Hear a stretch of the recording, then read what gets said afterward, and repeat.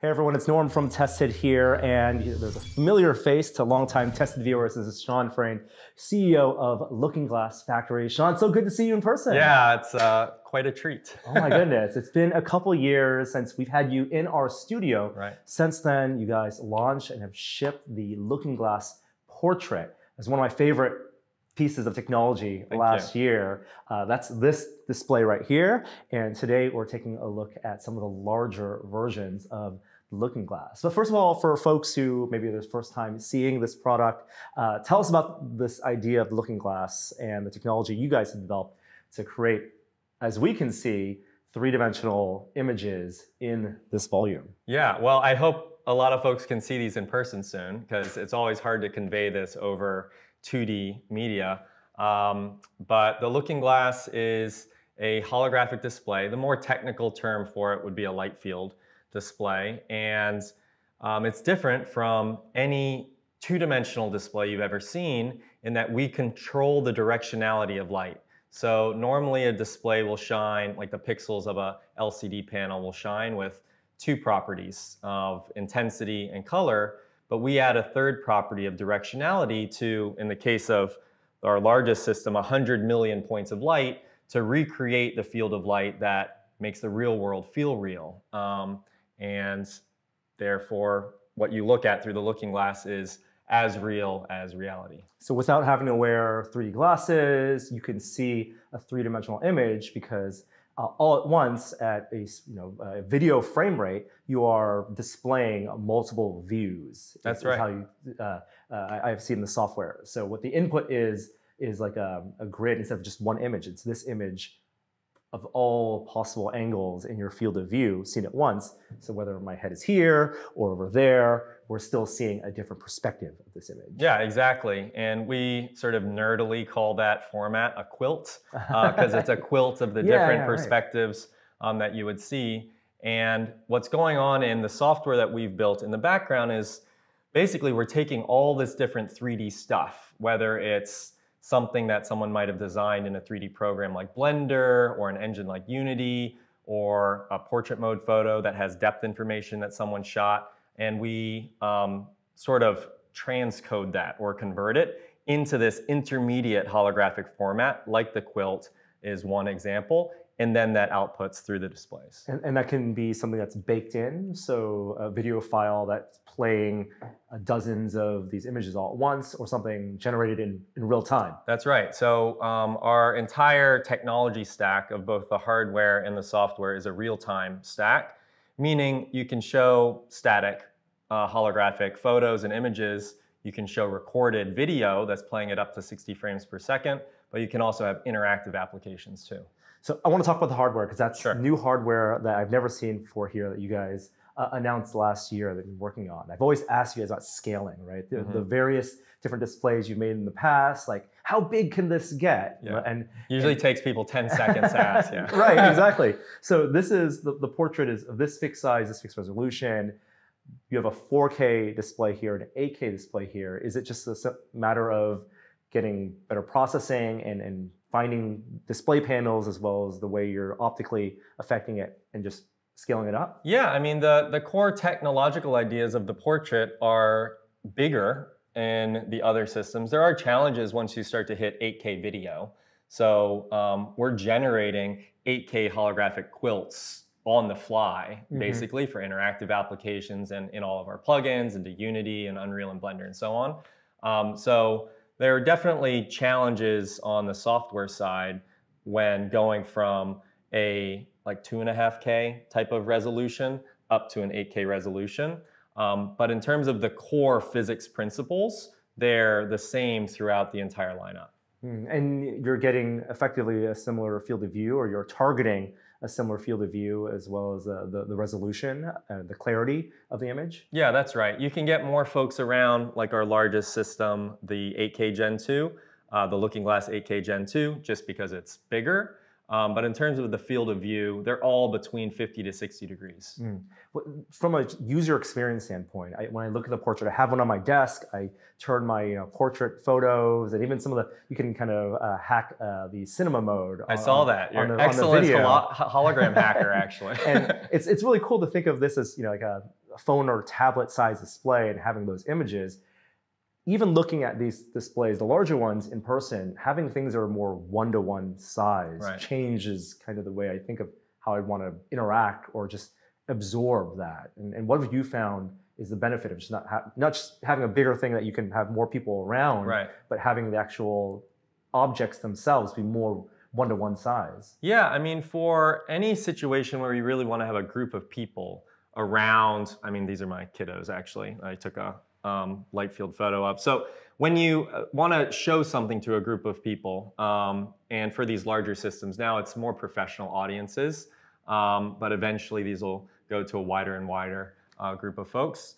Um, you just need something that's larger format. You don't, you know, typically gather around a phone to watch a movie Mhm. um, in 2D. And similarly, you wouldn't want to experience some holographic content on only the portrait. That's great for a lot of things, but it's not suitable for like a trade show or an experiential marketing experience or a video call, like an experimental like holographic video call. I see a render of a face right there, James and that Bond. is that's I mean that's actually larger than than one to one. Right. But when you can have a real time, you know, light field style video call with uh, Azure Kinect or something Right. that's capturing it, um, theoretically that's that's a different type of communication experience than you would holding a phone up or looking at a smaller display. Yeah. You're connecting with the content differently. Yeah, absolutely. And I think, you know, every time we make something larger, people are like, how much larger can Sure. it go? Yeah. And there's no physical limit to this technology because we're controlling the, the field of light, the directionality of a bunch of points of light. And that can physically scale to any size. So we're not scattering light off a physical medium or off of a gas or things like that. So um, we're really excited to see what um, a lot of folks do with the holographic applications that they've already been making in these larger format systems. One of the things you did when you launched the, the portrait was release a suite of applications Right. for importing you know, OBJ files or Yeah. converting a portrait mode photo from a, a- an iPhone. And you guys have iterated on that on, on the software side. But people are doing some really amazing things. You know, I, I drop in on your Discord from time to time, and there are a lot of video game developers, for Oh, yeah. example, or people are interested in things like photogrammetry. You know, what are the, some of the surprising pieces of holographic content that people are making? I mean, um, I, there's so much. Uh, somebody in the community, and any, everyone should hop into our Discord if you're curious to see where there's this bubbling up of amazing creativity in hologram land. Um, and I think it's if you go to look.glass slash Discord, um, folks can uh, join the community there. Um, somebody made a way to pull um, uh, any screenshot from like 500 different video games into their looking glass. So they're taking holographic screenshots from 500 different video games like Halo, Counter Strike, and whatnot. Um, other folks have found ways to um, take regu- regular 2D photos and through different AI algos be able to um, create the multitude of views that then can Mhm. run in the looking glass. So there's a lot of stuff that's going on. And input wise, you want this to not just be a passive experience. That's right. So can, can we see Yeah. some of the, demos you have created for some some interactivity? Yeah, absolutely. So I'm going to use the um, Leap Motion controller, but you know we're kind of any peripheral that's out there in XR land we love to use, and so this is just one example. And so here's a jet engine that we were um, preparing for a product um, demo. In my hand is being tracked by this Leap Motion controller, and a little 3D representation is made in the display. Um, and I can kind of like Tony Stark style explode view it, X-ray it. Um, actually, maybe one thing I should point out is that um, the displays are hollow, so the holograms are kind of like existing in this space in the real world. Well, even that representation of your hand there is close to one to one, Yeah, which speaks to just it's, it's a more intuitive or natural way for you to interact with something without having to directly touch it because you're not doing a scaling in, your head. You're That's right. manipulating like a, a small pinch and touch thing. That is as if your hand was interacting with it. yeah. This can get to.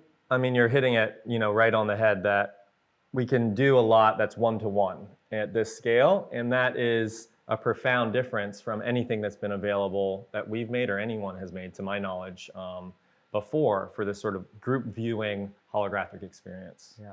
So obviously you're iterating on hardware, finding like the limits of how far you could push Mhm. the size uh, based on the panels and the optical and the manufacturing that you have. Right. Um, what's next on, on the software side? Where what what do you? I mean, obviously you guys are shipping and delivering these things, but you know, what do you guys? How are you guys thinking about going forward? Yeah, I mean, our um, our goal is to turn more and more 3D stuff in this wide, complex world of different 3D formats, um, different ways to generate 3D content into a holographic media format like the quilt um, set that can run in these systems. And so we're putting in a lot of work on that over um, the coming months. So have some exciting stuff in the future. Yeah, both the real-time stuff and stuff that commu- the plugins, like you said, you know, whether Yeah. it's um, video game engine, graphics engines, or you know, people have ported uh, Doom in, in, That's- so in yeah, real time, right? exactly. To play that, and that's because the source code's open, and they're just it's computer systems today are powerful enough to generate,